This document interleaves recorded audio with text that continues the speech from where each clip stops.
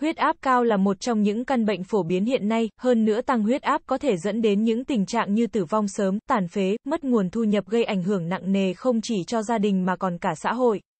Vì vậy, bảo vệ sức khỏe mỗi người là điều rất cần thiết.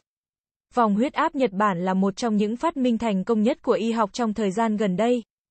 Vậy vòng huyết áp có gì đặc biệt mua ở đâu chính hãng? Hãy cùng theo dõi bài viết này nhé. Trước tiên hãy cùng tìm hiểu những ưu điểm của vòng huyết áp Raki mẫu mới. Vòng đeo tay ổn định huyết áp Raki được làm từ đá germanium và bạc titan, vừa là vòng chữa bệnh vừa là một món trang sức đẹp, dễ sử dụng, bạn có thể nhúng nước thoải mái, tuổi thọ lâu bền. Vòng Raki về phương diện chữa bệnh là 5 năm.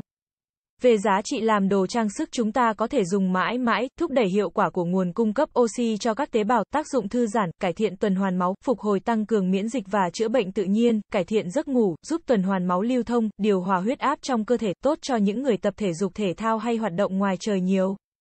Đặc trị với những bệnh đau mỏi vai gáy do máu không lưu thông tốt như những người ngồi máy tính nhiều, đi xe nhiều, máy bay nhiều, vòng tay huyết áp Nhật Bản cân bằng lượng hồng cầu và bạch cầu trong máu, điều này vô cùng quan trọng, từ tính tạo ra này giúp đảm bảo chức năng cung cấp oxy cho cơ thể giúp tuần hoàn máu dễ dàng, liên tục.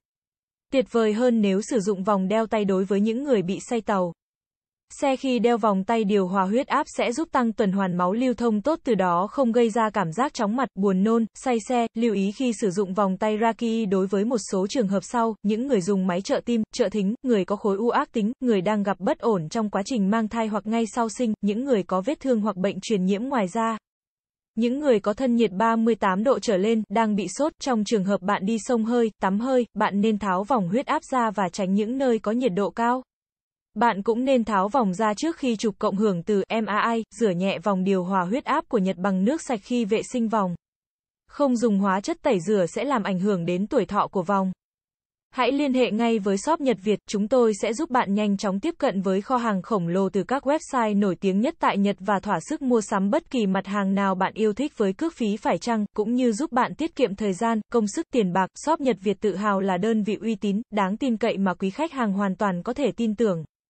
Lựa chọn để nhờ mua hộ trang sức online, phụ kiện trang sức nam, hay bất cứ hàng hóa nào từ các trang thương mại điện tử của Nhật theo yêu cầu của quý khách mà không giới hạn số lượng, kích thước với cước phí rẻ, cạnh tranh nhất, đảm bảo mang đến cho quý khách một dịch vụ tiện ích, chất lượng tốt nhất, làm hài lòng mọi quý khách hàng.